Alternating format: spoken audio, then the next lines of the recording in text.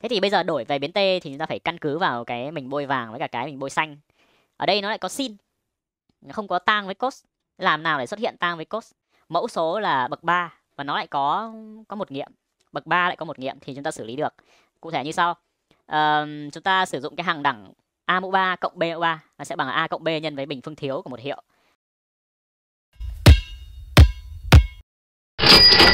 Xin chào các bạn. Chúng ta tiếp tục với nội dung của toán cao cấp giải tích, chương số 5 tích phân. Nội dung tiếp theo của tích phân bất định là dạng căn thức. Và để tiện cho các bạn theo dõi clip này thì mình uh, giới thiệu sơ qua nội dung của clip thì mình chia thành 5 cái dạng tích phân nhỏ hơn đối với tích phân chứa căn. Mỗi dạng thì mình có trình bày về cách thức chúng ta xử lý kèm theo ví dụ minh họa cụ thể và kèm theo cả bài tập để cho các bạn tự luyện có đáp án. Và việc xử lý tích phân dạng căn cũng như là bất kỳ cái dạng tích phân nào khác thì chúng ta luôn luôn làm theo cái hướng là biến đổi để đưa nó về các cái tích phân cơ bản. Và trước khi sang các cái dạng thì chúng ta sẽ điểm lại một chút về các công thức tích phân cơ bản mà chứa căn. Ở đây chúng ta có một số công thức như thế này.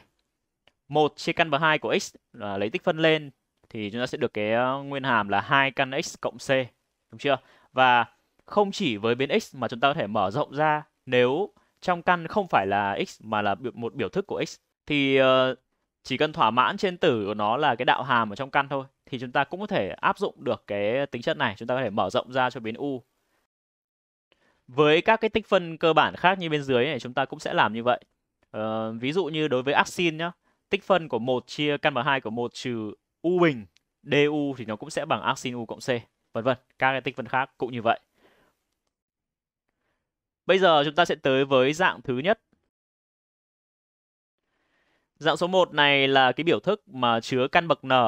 Ở bên trong căn bậc n thì nó lại là một biểu thức bậc 1 của x là ax cộng b. Thì khi đó cách xử lý là chúng ta sẽ đặt cả t bằng căn thôi. À, chúng ta sẽ đặt cả t bằng căn. Đặt đổi biến rồi thì chúng ta cần phải đổi vi phân và rút cái um, biến x theo cái biến mà chúng ta vừa đặt. Cụ thể ở đây, để rút được x theo t thì chúng ta sẽ mũ n cả hai vế lên. Sau đó thì trừ cả hai vế cho b và chia cho a thì chúng ta sẽ rút được x nó sẽ bằng 1 phần a nhân t mũ n trừ b như thế này. Và lấy vi phân hai vế chúng ta sẽ được dx nó sẽ bằng là x phẩy dt đúng chưa? x phẩy theo t ấy, thì nó sẽ được là n hạ xuống này sau t mũ n trừ 1. Đó thì đấy là chúng ta đã đổi đổi biến và đổi vi phân xong. ờ, thôi ví dụ luôn. Ở đây chúng ta có y1 thì bằng căn bậc 3 của x trừ 1 chia cho x đấy thì biểu thức trông nó rất là gọn gàng và nhìn dễ sơi. Thế nhưng mà khi chúng ta làm ra thì không dễ sơi tẹo nào cả. Chúng ta sẽ thấy uh, cái độ phức tạp của nó ngay sau đây thôi. Phương pháp có rồi chúng ta cứ thế mà thi triển. Đặt t bằng căn bậc 3 của x trừ 1 thì sau đó chúng ta sẽ rút là rút x theo t bằng cách là mũ 3 hai vế lên này rồi chuyển vế sẽ rút được x bằng t mũ 3 cộng 1 và đổi vi phân nữa thì sẽ được dx nó sẽ bằng 3t bình dt thay thế vào y1 chúng ta sẽ được ừ, căn mục 3 chúng ta thay bằng t này. X chúng ta thay bằng t mũ 3 cộng 1 và dx thay bằng 3t bình dt. Ờ, rồi chúng ta sẽ rút số 3 ra bên ngoài này. Sau t nhân t bình thì được là t mũ 3 đến đây y1 lúc này sẽ là tích phân dạng phân thức đối với biến t. Phân thức bậc của tử và bậc của mẫu bằng nhau. Vì vậy chúng ta sẽ chia tử cho mẫu nói là chia thôi chứ ở ở tình huống này nó đang đẹp, chúng ta không cần phải chia, chúng ta chỉ cần thêm bớt một chút thôi là nó sẽ ra được cái kết quả nó ngon lành. Cộng 1 trừ 1 thì khi đó thì t mũ 3 cộng 1 chia t mũ 3 cộng 1 để được 1 phần còn lại thì nó là trừ 1 chia cho t bình à xin lỗi, t mũ 3 cộng 1 rồi, áp dụng tính chất của tích phân tích phân tổng bằng tổng tích phân. Và sau đó chúng ta sẽ nhân phân phối số 3 vào trong ngoặc. Thì sẽ được là 3 tích phân của dt 1 dt đấy, trừ đi 3 của cái phần còn lại thì rõ ràng cái tích phân thứ nhất mình mà thấy ra kết quả luôn là bằng t rồi. Chỉ còn lại tích phân uh, thứ hai thôi đúng không? Và uh, tử số lúc này là là bậc không tức là hằng số. Mẫu số là bậc 3 và nó lại có có một nghiệm. Bậc 3 lại có một nghiệm thì chúng ta xử lý được. Cụ thể như sau. Uh, chúng ta sử dụng cái hàng đẳng a mũ 3 cộng b mũ 3 nó sẽ bằng là a cộng b nhân với bình phương thiếu của một hiệu.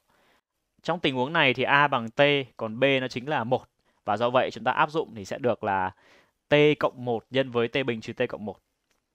Đến đây chúng ta thấy là khi khi khi phân tích thành nhân tử ở dưới mẫu rồi thì chúng ta hoàn toàn có thể đưa được về hai cái tích phân với cái hai cái phân thức với cái mẫu mà nó bậc nhỏ hơn là mẫu bậc 1 và mẫu bậc 2 như thế này. Đấy thì vấn đề của chúng ta bây giờ chỉ cần là tìm ra ABC nữa thôi là xong, đúng không? Và chúng ta sẽ tìm ABC bằng cách là dùng đồng nhất thức. Chúng ta sẽ quy đồng mẫu à, hai cái phân thức này lên này, rồi gộp tử số lại. Đó thì lúc này chúng ta sẽ nhân tung tóe ra. À, nhân hết và ở đâu có t bình chúng ta sẽ nhóm vào một chỗ, ở đâu có t chúng ta nhóm vào một chỗ và hệ, hệ số tự do chúng ta cũng nhóm riêng. Lúc này chúng ta sẽ ép cái phân thức này bằng cái phân thức ở trong tích phân kia. Tức là ờ, cái mẫu nó bằng nhau rồi này. Vấn đề chỉ còn lại là cái tử nữa thôi đúng không? Chúng ta sẽ ép cái tử số với ABC ở đây bằng cái số 1. Đấy, 1 thì viết lại theo t nó sẽ trở thành là 1 này cộng với 0 nhân t và cộng với 0 nhân t bình. Vì thế chúng ta sẽ rút ra được ba um, cái phương trình như sau. A cộng B bằng 0, hệ số của t bình bằng 0 này. Hệ số của t cũng bằng 0 này và hệ số tự do phải bằng 1. Thì khi đó thì cái phân thức có ABC này nó mới bằng cái phân thức ở trong tích phân. Ở đến đây thì chúng ta bấm máy tính giải hệ ba phương trình ba ẩn sẽ thu được ABC bằng kết quả như thế này. À, chúng ta sẽ thay thế nó lên e Y1. Thì lúc đó e Y1 sẽ được tách ra thành hai cái phân thức cụ thể như chúng ta thấy trên màn hình. Và nhận thấy là cái 1 phần 3 với 3 bên ngoài nó giản ước được cho nhau. Chúng ta sẽ triệt tiêu nó đi. Lúc này áp dụng tính chất của tích phân. Tích phân tổng bằng tổng tích phân. Và nhớ rằng à, bên ngoài có dấu trừ nữa ấy, thì cộng hai thằng cộng vào với nhau thì phá chúng ta nhân dấu trừ vào thì nó sẽ thành trừ như này. Ờ, rồi cái tích phân ờ, ở phía trước tức là 1 chia t cộng 1 dt dễ dàng chúng ta thu được kết quả là loga tự nhiên của trị tuyệt đối t cộng 1 đúng không? Không khó để chúng ta làm được cái này. Ờ, chúng ta chỉ cần viết lại cái dt thành ờ, d của t cộng 1 thôi là xong thôi. Ở đây chúng ta mình sẽ không làm chi tiết cái phần đấy, mình sẽ ghi kết quả luôn. Thế còn tích phân phía sau thì uh, do cái um, cái bậc của tử là bậc 1, bậc của mẫu là bậc 2. Vì thế chúng ta sẽ kết cấu về dạng là u phẩy chia u. Tại vì bậc 2 đạo hàm ra bậc 1 mà. Thì để làm tại sao lại kết cấu như thế? Tại vì chúng ta muốn tận dụng cái cái nguyên hàm này, đó là LNU đạo hàm thì bằng u phẩy chia u. Vì thế LNU là một nguyên hàm của u phẩy chia u. À, khi chúng ta đưa được cái biểu thức về dạng là u phẩy chia u rồi ấy, thì chúng ta sẽ rút ra được ngay cái nguyên hàm của nó. Ở đây thì um, chúng ta muốn xuất hiện cái cái cái cái uh, tử đạo hàm đúng không? À xin lỗi cái mẫu đạo hàm. Mẫu đạo hàm thì là 2t trừ 1. Thì do vậy chúng ta cứ viết bừa cái 2t trừ 1 ra này. Sau nhân với một cái hệ số nào đó, ở đây là a và cộng cái phần hệ số tự do còn lại là b. Thì đối chiếu nó với cái tử số ban đầu, tử số ở trong tích phân. Thì rõ ràng là hệ số của trừ t bằng hệ số của t bằng trừ 1. Ở đây khi chúng ta nhân a vào thì hệ số của t nó lại là 2a. Vì vậy chúng ta rút ra được ngay là 2a nó phải bằng trừ 1 và vì thế A bằng trừ 1 phần 2 và cũng không khó khăn để rút ra được B bằng 3 phần 2 đó thì đấy là cách mà chúng ta tìm ra AB các bạn có thể dùng đồng nhất thức viết ra giấy cũng được. Mình ở đây mình thấy dễ cho mình nhẩm luôn. Rồi thì mình uh, tiếp theo. Tiếp theo nó thấy là trên tử số thì nó phân thức nó cồng kềnh như vậy chúng ta sẽ không để như thế. À, mình sẽ rút cái 1 phần 2 ra bên ngoài này. Rút 1 phần 2 ra bên ngoài cho nó gọn thì sau đó dấu trừ bên ngoài tích phân chúng ta sẽ đưa vào bên trong để triệt tiêu dấu trừ ở trước 2t trừ 1 đi, cho nó gọn. Và lúc này chia tử cho mẫu thì chúng ta sẽ được là 2t trừ 1 chia cho t bình trừ t cộng 1. Cái này nó chính là cái dạng u phẩy chia u mà chúng ta vừa vừa mong muốn tìm được đấy. Bây giờ chúng ta sẽ tách ra theo tính chất của tích phân. Tích phân tổng bằng tổng tích phân. Và nhớ nhân 1 phần 2 vào nữa. Bây giờ tích phân ở phía trên này, ở phía trước ấy, thì nó là 2t chia t, nó là u phải chia u thì sẽ được kết quả là loga trị tuyệt đối của u. Đấy, nhưng mà u ở đây bằng t bình trừ t cộng 1 và nó là tam thức bậc 2 vô nghiệm. Tam thức bậc 2 vô nghiệm thì nó có dấu trùng với dấu của hệ số a. Vì thế, chỗ này dấu của t bình trừ t cộng 1 là luôn dương. Và chúng ta không cần trị tuyệt đối nữa. Ta sẽ viết luôn cái t à, uh, loga của t bình trừ t cộng 1 vào. Thế còn phân thức phía sau, nó đưa chúng ta về cái tích phân dạng phân thức cơ bản, đúng không? À, tử là hằng số, mẫu là bậc 2 vô nghiệm thì chúng ta sẽ tận dụng cái ác tang, chúng ta sẽ đưa về cái nguyên hàm cơ bản, cái tích phân cơ bản của ác tang. Đấy thì ở đây chúng ta thấy cái trong cái công thức cơ bản thì nó phải là một chia cho x bình cộng a bình đúng không? Nó nó phải là hai cái bình phương cộng với nhau. Trong đó một cái là biến, còn một cái là hằng số. Thì ở trên ở đây chúng ta thấy là nó có t bình và có cả t. Vì thế chúng ta cần phải đưa về cái dạng bình phương đã. Đưa ít nhất là nó phải đưa về dạng là là tích phân của một chia u bình cộng a bình du thì bằng 1 phần a nhân áp tan của u chia a đấy. Thì ở đây chúng ta sẽ kết cấu ra cái u đấy bằng cách là chúng ta sẽ nhóm cái t bình trừ t cộng 1 về dạng là bình phương cộng với một số dương. Uh, cái dạng bình phương ấy thì nó phải là a cộng b tất cả bình nó sẽ bằng là a bình cộng 2ab cộng b bình đúng không? Ở đây thì nó là trừ thì sẽ là a trừ b tất cả bình nó sẽ bằng a bình trừ 2ab cộng b bình. Nhưng mà đây nó chỉ là trừ t thôi, không có số 2, vì thế chúng ta thêm bớt số 2 vào. Đấy thì sẽ lòi ra cái b. a bằng t này, còn b bằng 1/2, b bình nó chính là 1/4 và chúng ta tách ờ, thêm 1 phần 4 vào thì bớt 1 phần 4 đi thì 1 trừ 1 phần 4 nó được 3 phần 4 đấy. Nó tóm lại là à, chúng ta sẽ được là t trừ 1 phần 2 tất cả bình cộng với 3 phần 4. Đó là cái biệt thức ở dưới mẫu. Lúc này thì chúng ta thấy xuất hiện về dạng là 1 chia u bình cộng a bình rồi đấy, đúng không? a ở đây nó chính là căn bậc 2 của 3 phần 4. Căn bậc 2 của 3 phần 4 tức là căn 3 chia 2 chúng ta chỉ thiếu cái đổi nốt cái cái dt thành du nữa thôi đúng không và chúng ta biết là có cái biểu thức vi phân đấy um, dx sẽ bằng d của x cộng với c trong đó c là hằng số bất kỳ vì thế dt ở đây chúng ta cũng được phép viết thành d của t trừ 1 phần 2 và do vậy nó xuất hiện dạng là tích phân của một chia u bình cộng a bình du rồi ở đến đây chúng ta sẽ bật ngay ra kết quả của octang đúng không a thì bằng à, căn 3 chia 2. Vì thế nó sẽ được là 1 chia A nhân với octang của U chia A cộng C. Nhưng mà để này phân thức nó cồng cành chúng ta sẽ không làm như vậy. Chúng ta sẽ giản ước, chúng ta phải thu gọn nó đã. Những cái chỗ nào cồng cành ấy thì mình thấy là hệ số hệ số bên ngoài này và góc của áp tang nó cũng cồng cành Vì thế chúng ta sẽ cái biểu thức của áp tang nó cũng cồng cành Vì vậy chúng ta sẽ nhân cả tử và mẫu của các biểu thức này với hai để để để để cho nó triệt tiêu cái số 2 ở phân ở mẫu đi đúng không? Thì um, rồi, nhân vào thì chúng ta sẽ thấy là hệ số tự do nó sẽ là 2 chia căn 3 này. Sau đó, lúc này thu gọn chúng ta sẽ thấy hệ số của áp tang nó là 2 chia căn 3. Còn cái biểu thức của nó sẽ là 2t-1 ở trên tử, dưới mẫu chỉ còn lại căn 3 thôi. Bây giờ thì chúng ta thay thế vào phía trên thay vào kết quả của cái tích phân còn lại trong cái y1 đấy thì lại thấy cái hệ số của Actang nó nó giản ước tiếp được. 2 với 2 bị mất 3 chia căn 3 thì còn lại căn 3 bước cuối cùng, đổi lại biến x nữa là xong. Thì khi đó chúng ta sẽ được kết quả của y1 nó là biểu thức dài cồng cành như thế này. Và các bạn nếu mà không tin nó đúng thì các bạn có thể đạo hàm ngược lại sẽ ra thôi, nhá. Đó là ví dụ số 1 cho cái dạng số 1 khi chúng ta đặt t bằng cả hai căn. Thì cái cách nhận biết của thằng này của cái dạng này nó cũng không không không quá khó. Các bạn cứ thấy chỗ nào có căn vướng vướng là chúng ta sẽ đặt t thôi. Nó giống như cái dấu hiệu để chúng ta đi đổi biến ấy. Cứ cái biểu thức nào mà làm mình thấy nó vướng, nó nó bị mắc khi chúng ta uh, biến đổi thì chúng ta sẽ đặt nó bằng ẩn phụ. Ở đây chúng ta thấy là cái căn bậc ba đang bị vướng, chúng ta sẽ đặt nó bằng t. Thế là xong. Chúng ta sang dạng số 2. Ở dạng số 2 này thì biểu thức nó chứa căn và căn đấy là căn bậc 2 nhưng bên trong là một biểu thức bậc 2. Ờ, với dạng 2 này nó sẽ là a bình trừ x bình. Và cái cách thức để xử lý dạng này là chúng ta sẽ đổi về lượng giác. Thì tại sao lại đổi về lượng giác? Chúng ta sẽ cứ trình bày phương pháp đã. Đặt x bằng a sin t. Đặt x bằng a sin t. Thì ờ, chúng ta sẽ có thể làm mất cái căn bậc 2 đi. Tại sao lại mất căn bậc 2? Tại vì chúng ta uh, chúng ta có thể biến đổi căn bậc 2 về dạng a nhân cos t được. Uh, cụ thể thì như thế này. Căn bậc 2 của a bình trừ x bình sau khi chúng ta đặt x bằng a sin t rồi thì chúng ta thay vào thì sẽ thấy là a bình nhân với 1 trừ sin bình t, đúng chưa? 1 trừ sin bình thì lại là lại là cos bình t.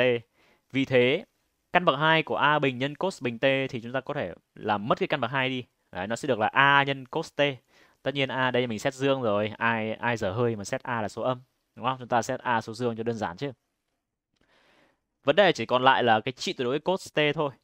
Làm sao chúng ta giải quyết nó? Thì chúng ta thấy là cái điều kiện của t nó sẽ cho phép chúng ta phá cái trị tuyệt đối này đi được. Đấy, cụ thể là với t nằm trong cái đoạn từ trừ pi trên 2 đến pi trên 2 thì sin t sẽ nằm trong đoạn từ trừ 1 đến 1.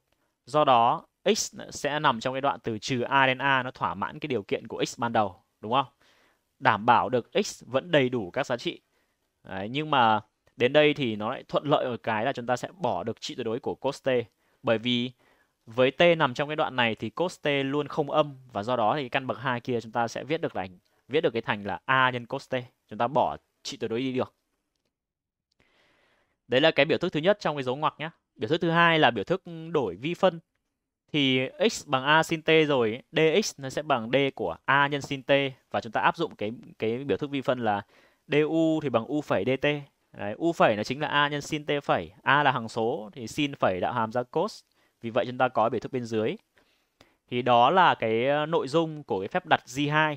Bây giờ chúng ta sẽ tới với thực hành thông qua cái ví dụ số 2. Y2 thì bằng x nhân căn bậc 2 của 4 trừ x bình. Đó, trong biểu thức của tích phân nó có cái à, căn bậc 2, ở bên trong căn bậc 2 là 4 trừ x bình. Thì cái này chúng ta sẽ nghĩ ngay đến việc chúng ta đặt uh, x bằng a sin t với a ở đây nó chính là là căn bậc 2 của 4, tức là 2. Đặt như vậy xong thì chúng ta sẽ rút ra được hai cái. Một là căn bậc 2 của 4 trừ x bình sẽ bằng 2 cos t. Và thứ hai là đổi vi phân. Sau đó thì mình thay y thay vào y2 chúng ta sẽ được là ừ, x thay bằng 2 sin t, căn bậc 2 thay bằng 2 cos t và dx thay bằng 2 cos t dt. Uhm, 3 số 2 nhân với nhau, chúng ta sẽ đi rút gọn cái y2 này. 3 số 2 nhân với nhau nó nó sẽ thành 8 này. Còn uh, cos nhân cos thì là cos bình phương. Và như vậy chúng ta sẽ đưa được về tích phân dạng lượng giác. Đây là một cái tích phân cơ bản dạng lượng giác. G uh, ờ, góc của sin và cos giống nhau này, uh, số mũ khác nhau, đúng không? Uh, một cái mũ chẵn, một cái mũ lẻ thì chúng ta sẽ đặt uh, chúng ta sẽ đặt ẩn phụ, đặt u bằng cái biểu thức có mũ chẵn. Ở đây biểu thức có mũ chẵn là cos. Đấy, thì đấy là cách mà chúng ta xử lý đối với dạng này. Đặt u bằng cos t thì đấy là cách mà chúng ta sử dụng cái phương pháp đổi biến thế còn nếu không ấy chúng ta cũng có thể biến đổi vi phân cho thằng này được bởi vì là sin t nhân dt chúng ta có thể viết lại nó thành là trừ d cos t đấy, thì tại vì là d cos t nó sẽ bằng là cos t phẩy dt du bằng u phẩy dt mà sau đó là cos phẩy nó ra trừ sin t vì thế là à, chúng ta có thể biến đổi như thế này biến đổi là từ cái 8 sin t cos bình t dt trở thành trừ 8 cos bình t d của cos t.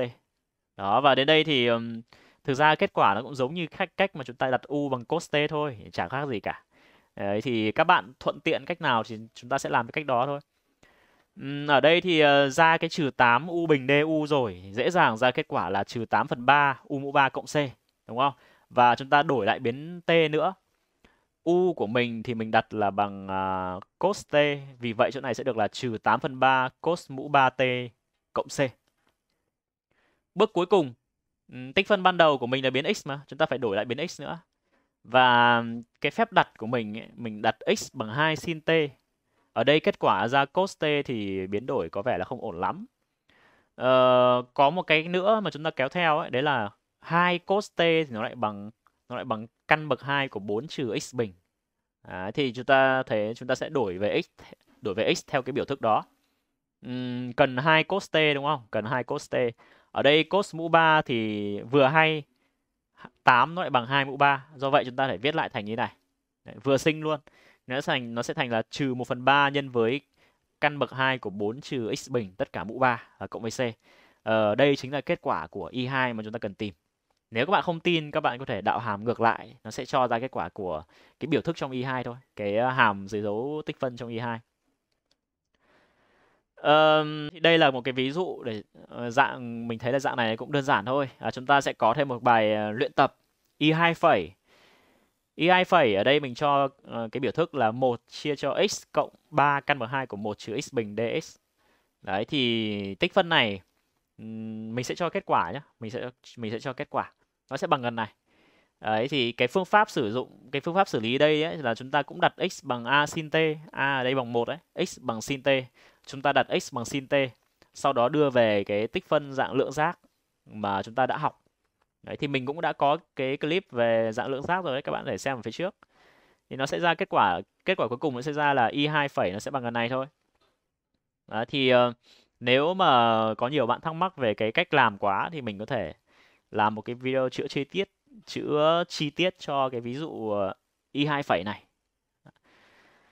rồi kết thúc dạng số 2 chúng ta sang dạng số 3 lúc này căn bậc 2 nó không phải là a bình trừ x bình mà nó thay bằng dấu cộng. Đấy, thì chúng ta cũng đổi về lượng giác đổi biến ở trong căn.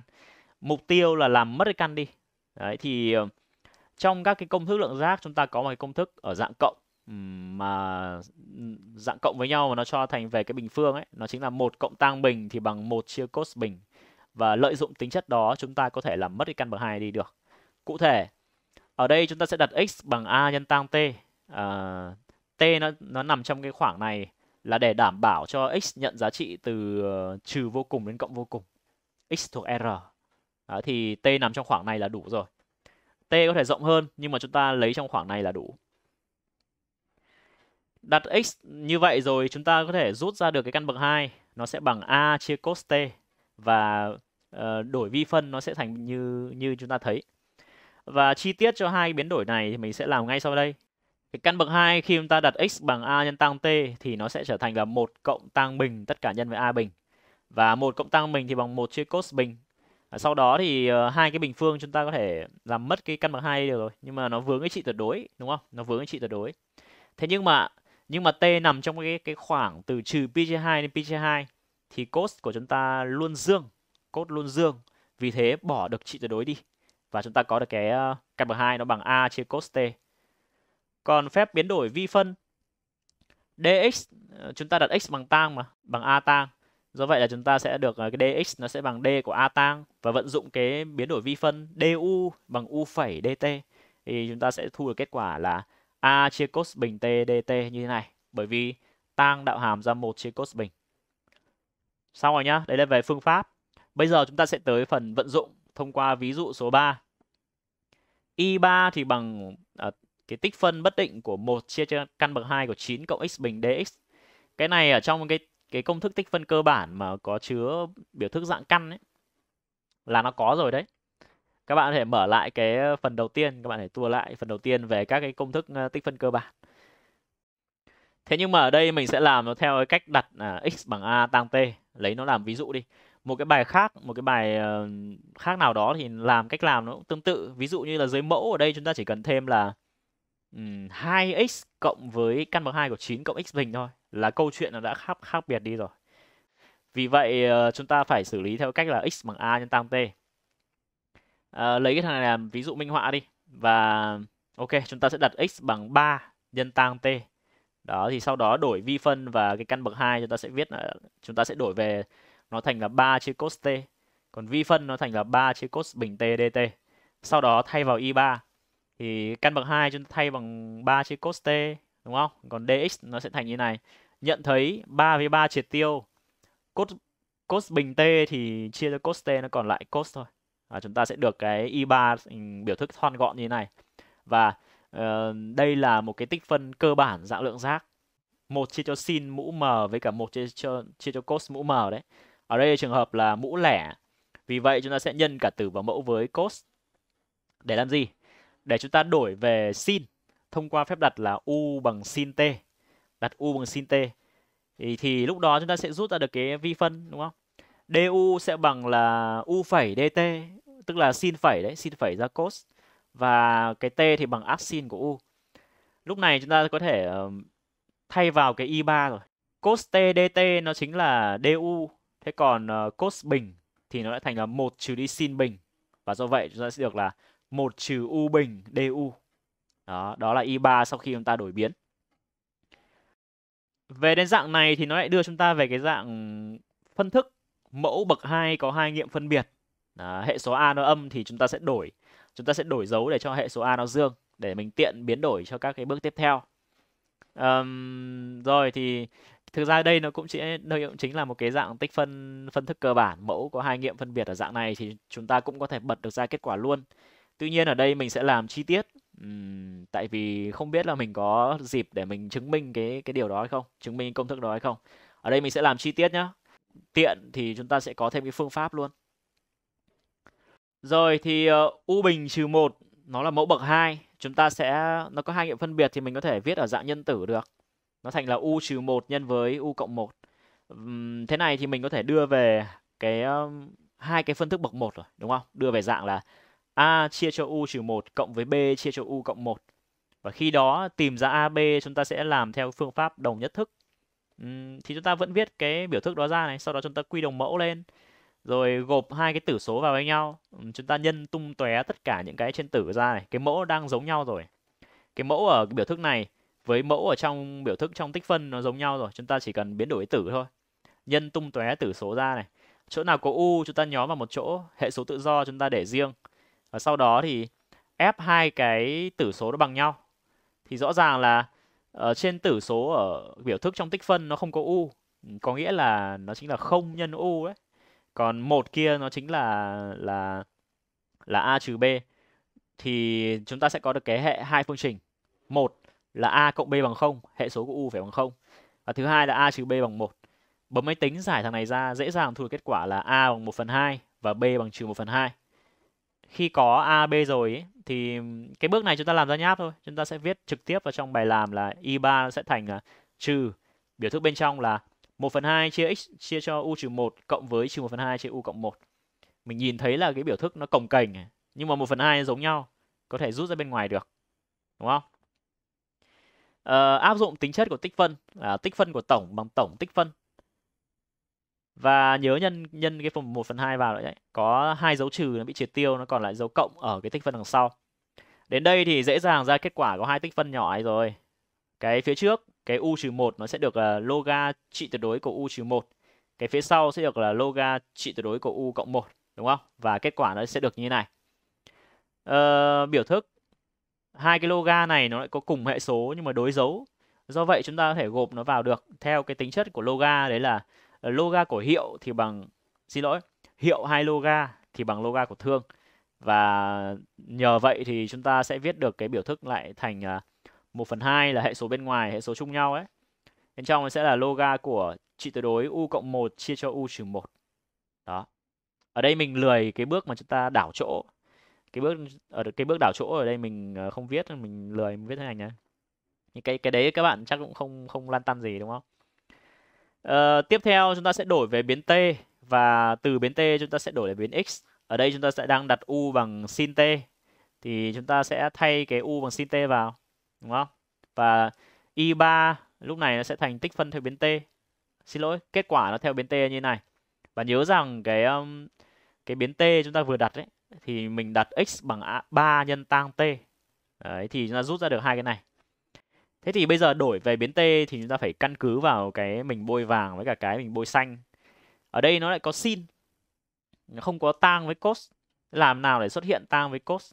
Thì đơn giản thôi đúng không? Chúng ta biết là tang thì bằng sin chia cos và nhận thấy là nếu chúng ta chia cả tử và mẫu của cái biểu thức bên trong loga thì uh, chia cho cos ấy, thì có phải là sẽ được là tang t cộng với một phần cos không? Chúng ta chia. Đó, sẽ được là sin chia cos đúng không?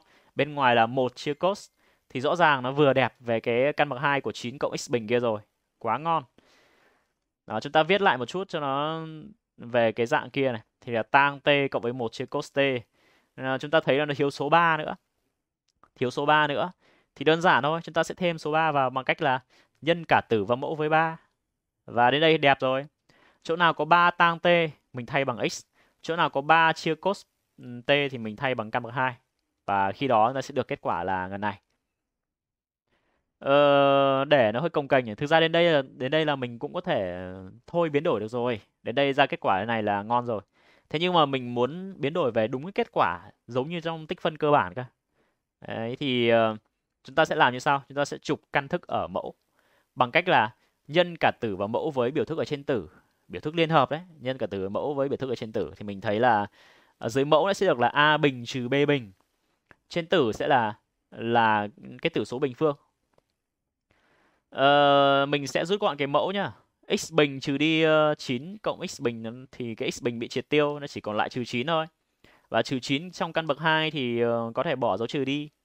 Sau đó mình uh, lợi dụng cái tính chất của loga ấy, vừa nãy là gì nhỉ? Hiệu hai loga thì bằng loga của thương đúng không? Bây giờ chúng ta sẽ biến đổi ngược lại. áp dụng tính chất đó nó sẽ thành là 1 phần 2 nhân loga của tử trừ đi 1 phần 2 nhân loga của mẫu đúng không?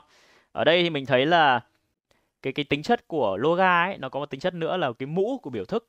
Chúng ta có thể bỏ ra bên ngoài được. Do vậy số 2 ở đây chúng ta có thể bỏ ra bên ngoài được. Và nó vừa hay là triệt tiêu cái 1 phần 2 bên ngoài kia đi. Xong. Uh, cái số 2 với 1 phần 2 nó triệt tiêu rồi nhá. Thế còn lại cái trừ 1 phần 2 nhân loga của 9 cộng c ấy, thì nó cũng sẽ là một cái hằng số và chúng ta sẽ viết lại nó về cái dạng hằng số nào đó hằng số mới đi. C phẩy thì bằng c trừ đi 1 phần 2 nhân loga của 9 nó vẫn là hằng số rồi mà. Bây giờ chúng ta sẽ thu gọn lại về dạng cuối cùng. Nó sẽ được cái loga trị tuyệt đối của x cộng căn bằng 2 của 9 cộng x bình và tất cả cộng với c phẩy. Và như vậy là cái kết quả này thì nó giống với cả cái công thức uh, cơ bản đối với tích phân dạng căn thôi đúng không? Chúng ta có công thức là uh, tích phân của một chia căn bậc 2 của x bình cộng b nó bằng cái loga này. Ở trường hợp này thì b bằng 9 là đang là số dương.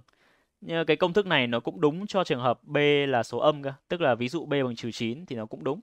Thì khi đó chúng ta có thể vận dụng phép đặt tiếp theo đây để ở ở dạng số 4 dạng dạng số 4 là dạng tiếp theo ấy. Chúng ta cũng có thể chứng minh được cho trường hợp b âm.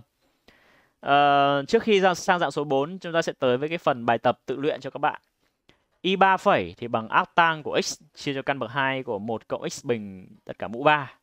Đấy, thì cái dạng này nó xuất hiện căn bậc 2 của 1 cộng x bình thì chúng ta cũng đặt là x bằng tang t, có thể xử lý thằng này được. Cái dấu hiệu số 2 mà gợi ý cho chúng ta đặt x bằng tang t, đấy là là xuất hiện cái ác của x. À, do vậy là chúng ta cũng có thể đặt x bằng tang t. Đấy là hai cái gợi ý ờ, đưa chúng ta tới phép đặt giống như dạng 3 này. Ở đây mình đưa kết quả. Ừ, kết quả đây, x bằng octang của x cộng 1 tất cả chia căn bậc 2 của 1 cộng x bình. Và cái gợi ý để chúng ta đi đến kết quả đó là một là phải đổi biến chắc chắn rồi. Đổi biến về tang và sau đó chúng ta sử dụng kết hợp với phương pháp là tích phân từng phần sẽ cho kết quả như mong muốn. Kết thúc dạng số 3 chúng ta sang dạng số 4. Dạng số 4 này là dạng căn bậc 2 của x bình trừ a bình. Đây cũng chính là cái dạng mà cho phép chúng ta xử lý cho trường hợp ờ, căn bậc 2 của ờ, số số b vừa nãy nó âm ấy trong công thức tổng quát cho cái dạng là một chia căn bậc 2 của x bình cộng b ấy. Vừa nãy là b dương. Bây giờ b âm chúng ta sẽ xử xử lý theo phép đặt này để chứng minh. À, thôi quay trở lại với G4 nhá. Xử lý nó thế nào thì chúng ta cũng đổi về lượng giác để làm mất cái căn bậc 2 đi. À, thông qua phép đặt là x bằng a chia cos t. Đó thì cái biến đổi gốc của cái phép đặt này thì nó cũng giống như biến đổi của dạng trước thôi. Đó là một cộng tang bình thì bằng một chia cos bình. Vì vậy, để chúng ta rút ra được là một chia cos bình trừ đi một nó sẽ bằng là tang bình. Đó và uh, vận dụng cái biến đổi đó chúng ta sẽ rút được ra thứ nhất là căn bậc 2 của x bình trừ a bình nó sẽ thành a nhân tang t và sau khi đặt biến rồi chúng ta cần phải đổi vi phân nữa thì dx nó nó sẽ trở thành là a nhân sin t chia cos bình t dt. Cụ thể hai biến đổi để cho ra hai kết quả đó là đây, biến đổi đầu tiên là chúng ta đặt ừ, biến đặt ẩn là x bằng a chia cos t mà nó sẽ thành như này, đúng chưa? Và với t nằm trong khoảng từ ờ, trừ pi đến trừ pi chia 2 hoặc là từ 0 đến pi chia 2 ấy. Để trong hai khoảng đó cos và sin nó luôn cùng dấu vì vậy là tang nó sẽ luôn dương. Tại sao mình chọn cái khoảng nó cồng cành như vậy? Nãy chưa nói. Không? Tại sao phải chọn cái khoảng cồng cành như vậy? Là bởi vì cái căn bậc 2 của x bình trừ a bình thì điều kiện là x bình trừ a bình phải lớn hơn bằng 0 và kéo theo là hoặc x lớn hơn hoặc bằng a hoặc x nhỏ hơn hoặc bằng a. Và chính vì x nó có cả giá trị dương và cả giá trị âm như vậy cho nên là chúng ta phải kết hợp hai khoảng này để cho nó chặt chẽ. Ờ, đấy nhá, đấy là căn bậc 2. Thế còn cái vi phân thì mình vẫn áp dụng biến đổi vi phân bình thường. du thì bằng u phẩy dt và sau đó thì một chia cos đạo hàm ấy nó sẽ thành là ừ, nó sẽ đưa chúng ta về dạng đạo hàm là một chia u đạo hàm đúng không? Thì bằng là trừ u phẩy chia u bình. Mà cos đạo hàm ra trừ sin, hai dấu trừ triệt tiêu và chúng ta có kết quả. Ở cái biểu thức cuối cùng ở góc bên phải nó phải là sin t chia cos bình t nhá mình thiếu mất cái bình phương ở đấy đấy bên dưới nó phải là cos bình t nhá rồi thì đấy là cái phương pháp bây giờ chúng ta sẽ tới với ví dụ minh họa tất nhiên là mình sẽ không lấy lại cái ví dụ ờ, căn bậc 2 của à, một trên căn bậc 2 của x bình trừ 9 đâu cái đấy là mình để các bạn tự làm ở đây mình làm một ví dụ khác y4 thì bằng căn bậc 2 của x bình trừ 1 chia x. Với ờ, ví dụ này, chúng ta có thể có hai hướng đi. Một là đặt cả cái căn bậc 2 bằng t. Và sau đó biến đổi khéo léo một chút, chúng ta sẽ rút được cái y4 theo biến t đó. Cách thứ hai là chúng ta đặt đặt như trong G4, tức là đặt x bằng a chia cos t. Ở đây thì a bằng 1 đấy. Đặt x bằng 1 chia cos t và chúng ta rút ra được cái căn bậc 2 sẽ bằng là tang t và dx sẽ bằng sin t chia cos bình t dt. Lúc này ờ, trước khi vào phần biến đổi thì chúng ta sẽ làm thêm một thao tác nữa, đó là rút t theo x. Thì cái bước biến đổi rút t theo x này là để dự phòng. Nếu mà chúng ta phải uh, chúng ta phải đổi kết quả về biến x ấy, thì nó có biến t chúng ta sẽ đổi về dạng này. Thì tại sao lại t bằng arc cos của một chia x thì đơn giản thôi. Chúng ta đặt x bằng một chia cos t mà. Do vậy là cos t nó sẽ bằng 1 phần x và chúng ta rút ra được là t sẽ bằng arc cos của 1 phần x. Đấy là xong nhá. Bây giờ sau khi đặt x bằng 1 chia cos t và đổi vi phân xong rồi, chúng ta thay vào biến y à, thay vào y4. Căn bậc 2 chúng ta thay bằng tang x chúng ta thay bằng 1 phần cos hay còn dx thay bằng sin t chia cos bình t dt. Và nhận thấy cos bình với cả cos thì ờ, chúng ta thấy nó triệt tiêu rồi nhá. À chưa triệt tiêu nhưng mà nó nó giản ước được đúng không? Nó còn lại là cos t ở dưới mẫu thôi. Và sin chia cos thì lại được tang. Do vậy y4 nó sẽ bằng là tích phân của tang bình. Và đến đây ngon lành rồi.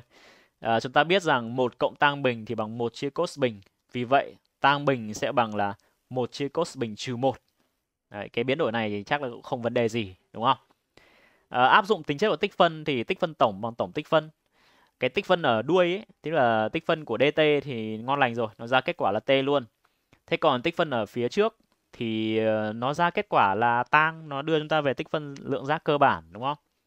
Một chia cos bình t tại vì là tang đạo hàm ra một chia cos bình mà do vậy là nguyên hàm lên rồi chúng ta sẽ lấy luôn thằng tang.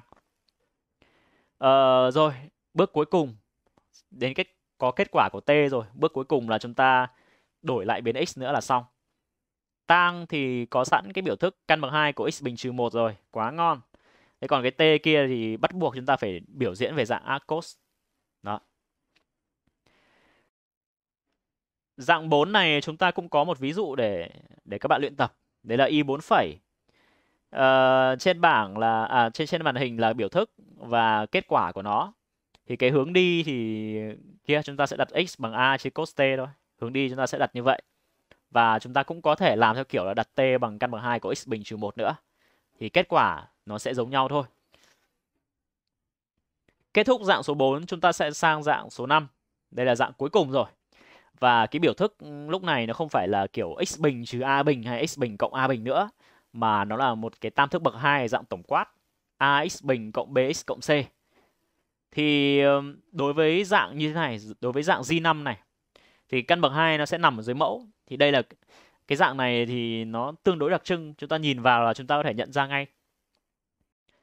Để xử lý Z5 thì chúng ta có hai hướng đi dựa trên cái dấu của hệ số A. Ở trong đó nếu mà A âm thì chúng ta sẽ sử dụng chúng ta sẽ biến đổi về công thức tích phân của axin tích phân mà chứa căn của axin thế còn nếu A dương chúng ta sẽ biến đổi về công thức chứa căn của của cái loga ấy, tức là căn bậc hai của x bình cộng b đấy. B uh, dương âm đều được mà không quan trọng. Quan trọng là hệ số của x bình là nó dương. Đấy thì có hai công thức này hai công thức tích phân uh, dạng lượng dạng căn bậc hai nó nó cơ bản này thì, thì chúng ta sẽ lợi dụng nó để chúng ta tính. Một cái thì hệ số a nó âm một cái hệ số a nó dương. Đấy nó tương ứng chúng ta sẽ xử lý theo hai cái tình huống đó. Làm luôn ví dụ số 5 này nhá. G, à, y5 y5 mình nhận thấy là hệ số A ở đây là bằng một dương rồi. Do vậy chúng ta sẽ biến đổi để đưa về cái công thức bên dưới đúng không? À, chúng ta phải đưa về cái bình phương đã. Tại vì ở kia nó chỉ là x bình cộng với b thôi. Nếu mà nếu mà nó không phải x thì, thì nó sẽ là u. Tức là căn của u bình cộng b du. Ở đây thì à, nó là x bình trừ 2x. Nó có cả bậc 1 và bậc 2 thì không được. Chúng ta phải đổi về u rồi. À, nhận thấy là x bình trừ 2x cộng với 1 thì bằng x trừ 1 tất cả bình. Đó thì ngon lành rồi. Chúng ta đã thiết kế được về cái bình phương cộng với cả hằng số. Ở đây là cộng 7 ấy, cộng với cả hằng số. Thì uh, nó giống với công thức bên dưới rồi chúng ta chỉ cần đổi cái dx thành ờ, d của x trừ một nữa thôi là xong đúng không? Nó sẽ ra kết quả luôn là là loga trị tuyệt đối của x trừ một bên ngoài này. U đấy nó u đấy tích phân của một triệu căn bậc hai của u bình cộng 7 du sẽ, sẽ thành là loga của trị tuyệt đối. U cộng căn bậc 2 của u bình cộng 7 cộng c. Thì đấy là cái cách mà chúng ta xử lý bằng công thức bên dưới. Thế còn trường hợp mà hệ số a âm thì sao? Thì đơn giản thôi. Ví dụ ở đây mình sẽ lấy luôn cái y 5 này. Chúng ta sẽ thay nó cái hệ số a vừa nãy là dương 1 thì bây giờ chúng ta thay nó bằng trừ 1 đi. Thì tất nhiên là đây là ví dụ để chúng ta luyện tập để chúng ta tiếp cận thì không nên lấy nó khó quá. Đến cái khoảng thời gian này thì cũng tương đối mệt rồi. Do vậy là chúng ta sẽ không nên làm những cái bài nó phải suy nghĩ quá nhiều. À, rồi thì ờ, hệ số a âm đúng không? Chúng ta sẽ sử dụng cái công thức ở bên trên tức là công thức đổi về arc sin. Uhm, nó phải là a bình trừ đi u bình du cơ đúng không? A bình trừ u bình du ở đây là trừ x bình trừ 2x thì chưa được. Do vậy là chúng ta cần phải đổi về dạng u bình thì uh, vừa vừa đẹp nó sắp thành cái bình phương rồi. Nó nó chỉ cần thiếu trừ một nữa thôi đúng không? Chúng ta thêm trừ một rồi rồi cộng thêm một nữa thì sẽ được cái bình phương. Và khi đó thì chúng ta hoàn toàn có thể biến đổi về dạng là 9 trừ đi uh, đây chúng ta sẽ biến đổi về như này. Ở khi chúng ta đưa về dạng này rồi thì uh, chúng ta chỉ cần thêm một bước nữa thôi. Thêm một bước nữa là chúng ta biến đổi được về cái công thức với arcsin đúng không? 9 mình viết lại thành 3 bình x cộng 1 thì ờ, bình phương ngon lành rồi, nó chính là u bình. Thế còn dx thì nó cũng sẽ bằng d của x cộng 1 thôi. Do vậy là đến đây mình có thể bật ra kết quả luôn là nó sẽ bằng arc sin của x cộng 1 chia 3 cộng c tức là arc sin của u chia cho u chia cho a đấy. A ở đây là chính bằng 3. Còn u thì là x cộng 1. Đó thì đấy là cái cách mà chúng ta xử lý theo công thức ở phía trên. Các cái bài tập mà thực tế chúng ta gặp trong bài kiểm tra, bài luyện tập hay là bài đề thi thì cái cách làm y hệt không khác gì cả nó chỉ khác về cái hệ số thôi hệ số nó sẽ xấu hơn. Nhưng mà chúng ta vẫn có cách để chúng ta khai triển được. Chúng ta nắm được cái hướng biến đổi là mình có thể vận dụng được. Một cái dạng đặc thù nữa đối với dạng ờ, uh, G5 này đấy là nó nó nó giống như cái Y7 ở đây. Ở trên tử nó lòi thêm cái x. Đấy, ở trên tử nó lòi thêm cái x thì chúng ta làm như thế nào? À. thì lúc này uh, bậc của tử là bậc 1, bậc ở trong căn bậc 2, ở trong căn bậc 2 nhá. Trong căn bậc 2 nó là bậc 2. Thì uh, nó sẽ gợi ý chúng ta sử dụng cái tích phân này đúng không? Chúng ta có cái u phẩy chia u dx thì nó bằng 2 căn u cộng c mà. Đấy thì uh, thì chúng ta sẽ thiết kế về cái này. Đây là một cái công thức tích phân dạng uh, căn cơ bản mà mình đã nêu ở phần đầu rồi. Thì uh, ở đây mình nhận thấy là thì thì ở đây mình sẽ mình sẽ biến đổi cái y7 này về cái dạng u phẩy chia căn u. Đấy thì uh, nó thiếu cái cái cái cái u đạo hàm đúng không? U ở đây thì bằng x bình trừ 2x cộng 8 cái đạo hàm nó sẽ ra 2x trừ 2 ở trên tử có 2x rồi. Bây giờ chúng ta sẽ thêm bớt trừ 2 vào để cho nó về đúng cái dạng u phẩy chia u thôi là xong. Chia tử cho mẫu. Sau đó chúng ta áp dụng tính chất của tích phân tích phân tổng bằng tổng tích phân. Thì cái tích phân đầu tiên nó nó chính là dạng u phẩy chia u rồi. Đấy, còn cái tích phân thứ hai thì uh, nó là y 5 đấy nó nó chính là y 5 đúng không? Nó chính là cái ờ, ví dụ uh, y 5 thì uh, rồi ngon lành rồi. U phẩy chia u thì sẽ được là hai căn u. Thế còn cái tích phân còn lại nó là y 5 hay y 5 y 5 biểu thức là tương đối dài nên mình sẽ không viết ở đây. Các bạn có thể tua lại một chút để xem kết quả y 5 rồi thế nó vào nhé một cái tình huống nữa một tình huống nữa. Ví dụ như Y8 ở đây thì trên tử nó không còn là bậc 1 nữa, nó là bậc 2 thì chúng ta làm thế nào? Thì cái hướng làm đây là chúng ta sẽ thêm thêm bớt ở trên tử cho nó giống với cái biểu thức ở trong căn. Tức là giống với biểu thức là x bình trừ 2x cộng 8 ấy. Chúng ta sẽ biến đổi để trên tử nó xuất hiện cái x bình trừ 2x cộng 8. Thì uh, sau đó thì có phải là chúng ta sẽ đưa về y7 không? Nó sẽ đưa về y7 à, thì uh, nó chỉ còn lại cái căn nữa thôi và lúc đó chúng ta sẽ sử dụng cái từng phần. Rồi hướng dẫn là như thế. Nếu mà cái y8 này các bạn thấy nó khó thì các bạn có thể comment ở phía dưới mình sẽ làm cái video chữa chi tiết. À, ví dụ tiếp theo chúng ta có cái y9 thì đây là một cái dạng đặc biệt khi bên trong nó không phải là mũ 2 nữa đây là dạng mở rộng không phải đặc biệt mà nó là dạng mở rộng. Ở trong căn nó là x mũ 4 uh, trừ đi 9 thì uh, nó không phải là bậc 2 giống như các cái ví dụ mà chúng ta đã làm phía trước. Thì mình xử lý thế nào? Đấy, thì um, có hai cách. À, thực ra là có nhiều cách lắm. Có có nhiều hướng đi cho bài này. Chúng ta có nhiều hướng đi cho bài này. Hướng đầu tiên là chúng ta có thể đặt t bằng cái căn sau đó biến đổi khéo léo một chút để đưa về tích phân theo biến t hướng thứ hai là chúng ta có thể đặt x bình bằng t tại vì nó bên ngoài là thừa ra đúng cái hệ số lẻ của x mà mũ lẻ của x x mũ lẻ. Hướng thứ ba là chúng ta có thể biến đổi để để đưa về các cái dạng mà chúng ta vừa làm phía trên. À, thì có nhiều cách lắm. Ở đây mình đưa ra hai cái hướng hai cái kết quả cho hai hướng khác nhau. Hướng đầu tiên là chúng ta đặt t bằng cái căn thì thì nó sẽ ra kết quả bên dưới nó ra kết quả của arctan đặt t bằng cái căn nó sẽ ra kết quả của ác tang nhé thế còn ờ, hướng còn lại là chúng ta rút x mũ 4 ra bên ngoài. Rút x mũ 4 ra bên ngoài thì bên ngoài căn ấy, nó sẽ được là x bình, đúng không? Nhân với x đã có nó sẽ là x mũ 3 và cái hướng mà rút đấy thì thực ra là chúng ta có thể đặt là đặt t bằng 3 chia x bình ấy, đổi biến ở trong căn hoặc là đổi biến ở ngoài căn thì đặt cả cái căn bằng t rồi ví dụ này nếu mà các bạn thấy khó khăn quá thì mình cũng sẽ chữa chi tiết. Tất nhiên là nếu các bạn yêu cầu ở phía dưới, các bạn comment ở phía dưới thì mình sẽ chữa chi tiết. Thế còn nếu không thì mình sẽ mặc định là các bạn đã làm được rồi. Rồi thế nhá. À, kết thúc năm dạng à, tích phân dạng căn. Dạng tích phân tiếp theo là chúng ta sẽ tới với tích phân xác định rồi. Kết thúc dạng tích phân bất định, chúng ta sẽ tới với tích phân xác định. Và mở đầu là cái bài toán tính diện tích hình phẳng. Nếu có bất kỳ thắc mắc nào, các bạn có thể comment ở ngay phía dưới hoặc là tham gia trao đổi trong nhóm toán cao cấp EDK Uni. Link mình để phần mô tả và cũng có thể tìm thấy phần comment. Cảm ơn các bạn đã theo dõi. Hẹn gặp lại các bạn trong những video tiếp theo. Xin chào.